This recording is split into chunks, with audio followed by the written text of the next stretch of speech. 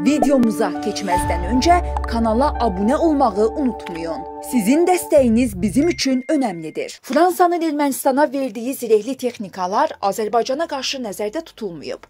Telegraf.com xəbər verir ki, bunu erməni politoloq Alen Gevontian deyib. Fransanın Ermənistana verdiyi bastion zirehli texnikaları daxili təhlükəsizlik və vətəndaş qarşıdurmaları zamanı özünü sübut etmiş maşınlardır. Hazırda BMT-nin Afrikadakı sülhməramları bir neçə ölkədə patrul xidmət aparırlar. Fransa bunları əsasən Afrika, o cümlədən müstəmləkə ölkələri və İsveçə satıb. Ukrayna bu maşınlardan imtina edib. İndi sual budur. Afrikadakı problemləri həll edə bilməyən bu maşınlar coğrafi reallığın fərqli olduğu Cənubi Qafqazda Ermənistanla Azərbaycan arasında mümkün hərbi münaqişədə nə edəcək? Heç nə. Bəs bunlar niyə alınıb?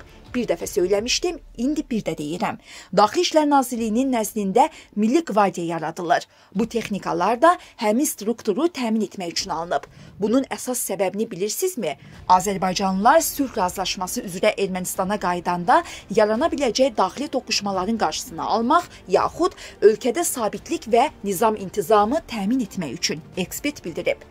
Qevuntiyanın iddiasına görə Azərbaycanla sülh müqaviləsinin imzalanmasından sonra Ermənistanda daxili sabitliyi təmin etmək vəzifəsi yeni Milli Qvardiya ilə yanaşı beynəlxalq missiyaya veriləcək. Politoloq əlavə edib ki, Azərbaycan Ermənistanın mövcud daxili təhlükəsizlik sistemi ilə razılaşmır. İrəvan Milli Qvardiyanı sülh razılaşması çərçivəsində bu səbəbdən formalaşdırır.